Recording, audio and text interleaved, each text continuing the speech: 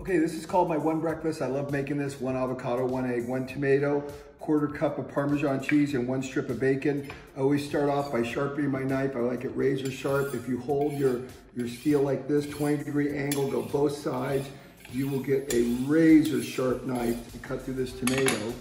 And what I do is I use this in place of bread. So I cut four slices, just like this, and I lay it on my plate. So this is like my English muffin, if you will.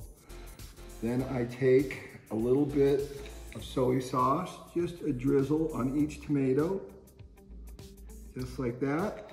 And then I like crushed red pepper a lot for spiciness and a little bit of salt, not much, a little bit of pepper.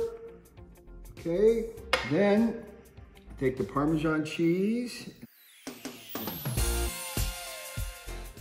This, I call this adding traction. You'll see why in a minute.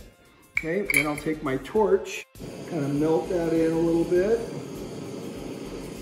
Know, that melts that in really nicely.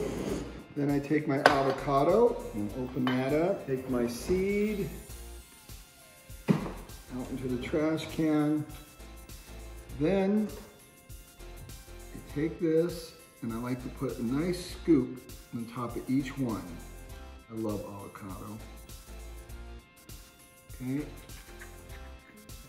I take the bacon, one strip of bacon, I chop it up really fine. I've already done it. And then I grill it into the avocado and I push the bacon just like that. So when I pick it up with my hands, I'm not struggling to chew through the bacon.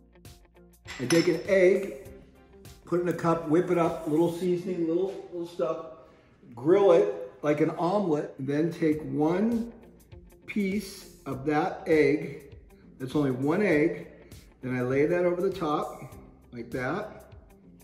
Very hot, very hot, hot, hot. Then I'll take a little bit more Parmesan cheese. And you know what comes next? My sushi torch on.